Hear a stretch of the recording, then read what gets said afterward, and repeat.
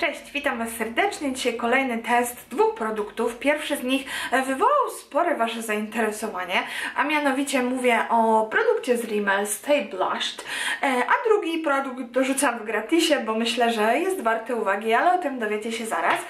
Na pierwszy ogień Stay Blushed, tak jak powiedziałam, czyli mus w płynie Liquid Cheek Tint, czyli tint w płynie. Ja mam w kolorze 002 Touch of Berry. E, używałam go kilka razy. Ja ogólnie powiem szczerze, że jestem czasem sceptycznie, a może zachowawczo bardziej e, nastawiona do takich produktów, e, ale ten jest całkiem w porządku, całkiem fajnie się sprawdza, co on ma tu robić, ale małe literki. Róż w kremie idealnie i natychmiast stapia się ze skórą, to prawda. Nałóż opuszkami palców niewielką ilość na kości policzkowe dla lekkiego i naturalnego efektu, który trwa cały dzień. E, faktycznie róż jest bardzo trwały, co jest niewątpliwie jego plusem. E, zresztą to zobaczycie później, bo jak zwykle do Was wrócę. E, jest Ładnie faktycznie stapia się ze skórą, nie jest tak bardzo widoczny, jest łatwy w obsłudze. Ja chyba właśnie jestem taka sceptycznie nastawiona, bo boję się obsługi takich wynalazków, e, ale z tym całkiem daję sobie radę, więc jeżeli ja daję sobie radę, to znaczy, że produkt nie jest taki trudny. E, dodatkowo ma całkiem ładny kolor, przynajmniej ten mój jest ładny e, i pasuje do mnie, tak mi się wydaje. Zaraz mi na pewno powiecie. Co ważne, on nie jest bardzo napigmentowany, więc jakby zrobienie sobie krzywy krzywdy e, tym różem nie jest aż tak bardzo prawdopodobne, e, czyli również dla początkujących osób się sprawdzi. E, w sumie chyba nie ma co tu gadać, bo najważniejsze, żebyście zobaczyli jak na twarzy wygląda. Także ja już się tu do Was zbliżyłam i po prostu stópki wyciskam sobie troszeczkę tego różu, niewiele, o tyle widzicie. I on jest faktycznie taki płynny, ale taki trochę jest to mus. I co?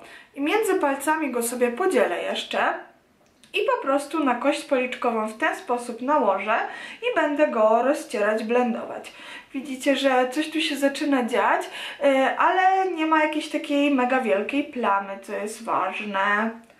No ale widzicie, że tutaj trochę wklepałam i jest ten policzek zaróżowiony, e, ale nie ma jakiegoś takiego mega wielkiego koloru. Już co możecie też chyba zobaczyć, ale nie jestem pewna, że tutaj siedział pod podkładem jakiś pryszcz różowy, tu i tu i nie było go jeszcze tak przed chwilą widać, e, a ten róż go wyciągnął, więc to jest chyba zdecydowanie minus. Dołożę jeszcze trochę.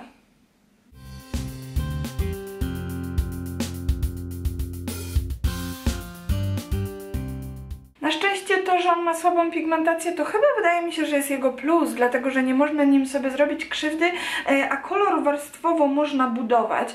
Widzicie, co tu się wydarzyło? E, ładnie się rozciera, no ale jednak powiem Wam, że nałożyć tak idealnie róż palcem, tak jak się to robi pędzlem, e, to nie jest takie łatwe i wymaga trochę wprawy.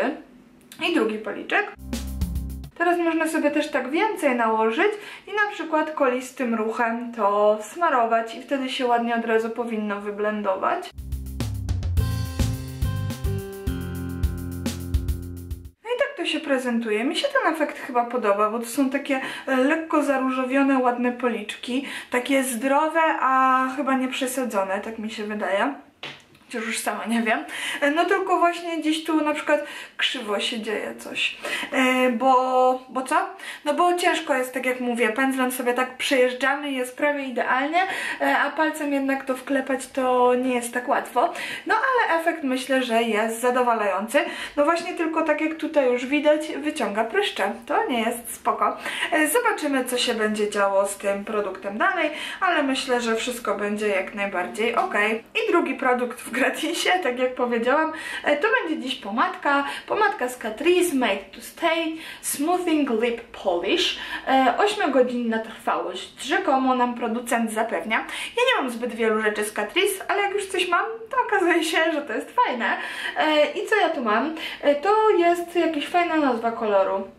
Smoothing Lip Polish 060, ale on ma jeszcze nazwę, napiszę Mission Pink Possible to się chyba nazywa o w ten sposób. Um, a, faktycznie jest napisane Mission Pink Possible. E, I to jest faktycznie taki lakier który dość długo utrzymuje się na ustach, nie ściera się tak łatwo, czyli wiecie, że to są moje ulubione produkty, które jak nałożymy, to troszkę na ustach posiedzą. E, nie daje takiego matowego wykończenia, więc jeżeli ktoś nie jest fanem matowych wykończeń, tak jak to jest na przykład przy Rouge Edition Velvet, e, to myślę, że to się o wiele bardziej sprawdzi. E, aplikator ma całkiem fajny, wygodny, Kolor ma genialny, rażący, widoczny z daleka. Ja nakładam i powiem Wam jeszcze, jakie są odczucia po nałożeniu. Aplikacja zasadniczo banalna, widzieliście dwa pociągnięcia i gotowe. Produkt jest na ustach, zęby patrzę czy pomalowałam. Nie, nie pomalowałam na szczęście. Dzisiaj do takiego dziennego makijażu to po prostu aż krzyczą te usta, chyba za bardzo, albo to te światło w kamerze, bo na żywo aż tak nie wygląda, jest trochę bardziej zgaszony. Jak widać, no o macie w ogóle nie mamy tutaj co rozmawiać i co mówić, e, bo on się świeci, połyskuje. Wydaje mi się, że to jest coś podobnego do tego Rimmel Apocalyptic, ale ja tego nigdy nie miałam, kiedyś sobie tego podkradłam od mamy, e, no i wydaje mi się, że to daje dość podobny efekt. Mm, no nie, nie przysycha, więc to nie powinno absolutnie wysuszać ust, nie jest matowe, nie jest też jakieś wybitnie klejące, tak troszeczkę, minimalnie, ale wydaje mi się, że odkąd to nałożyłam, to to jeszcze trochę przyschło, jak teraz już mówię, mówię, mówię. Um, także bardzo fajny produkt. E, myślę, że to jest chyba w kilku fajnych kolorkach tam widziałam, e, więc warto na to zwrócić uwagę. I co? No i ja uciekam z tym różem i z tą pomadką i przyjdę za kilka godzin pokazać Wam, jak się to wszystko spisuje. Ok, wracam do Was po kilku dobrych godzinach, e, żebyście zobaczyli, jak produkty na twarzy wyglądają. E, pomadka, jak widać, nadal jest, chociaż już nie tak intensywna. E, ona tak przy pierwszej godzince się troszeczkę starła, no a później tak została fajnie. Ściera się dość równomiernie, bo już się zaczyna tak bardziej jeszcze ścierać. Chociaż i tak jest właśnie spoko. I jestem zadowolona z tego efektu, bo wiem, bo lubię szminki, które się ścierają równomiernie. Wiem, że nie mam jakiś tam plan. E, plusem ogromnym jest jeszcze tej pomadeczki to, że nie jest w ogóle wyczuwalna na ustach, e, tylko właśnie tak przy pierwszej godzinie czuć, że coś tam jest, e, później to uczucie znika, e, no i zostaje sam kolor, który się tak wgryzł w usta. I minus jaki tej pomadki jest to taki, że straszne ślady zostawia, w sensie jak gdzieś tu dotkniemy czy coś w tej pierwszej godzinie, to czy półtorej czy pierwszej, nie, w pierwszej godzinie, o tak, e, to po prostu całe ręce, smugi na rękach, patrzę czy gdzieś nie mam, na jasnych paznokciach i tak dalej. No nieciekawe to jest, trzeba to kontrolować. Jak się na przykład coś chce zjeść, to później e, cała ręka jest z tej pomadki. E, no ale właśnie kłopot taki sprawia tylko na początku, bo jak teraz widać, absolutnie już całkowicie e, przyschła. Więc myślę, że produkt jest jak najbardziej ok. A co do e, różu, Róż się trzyma, nic się z nim nie stało, całkiem ładnie wygląda, podoba mi się bardzo ten efekt, taki świeży, bardzo dziewczęcy, nieprzytłaczający, także ja z tego różu jestem zadowolona, mi się on bardzo podoba. Tu mamy 14 ml w opakowaniu, e, no i tak jak mówię, jak na taki wynalazek, to jest ok. Efekt jest naprawdę fajny. No i trwały, co najważniejsze.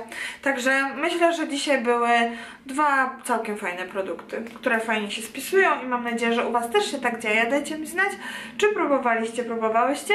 E, no i czy co coś Was skusiło fajnie, które, które z tych chciałybyście mieć bardziej, albo żadne. Tyle. Pozdrawiam Was serdecznie i do zobaczenia niedługo.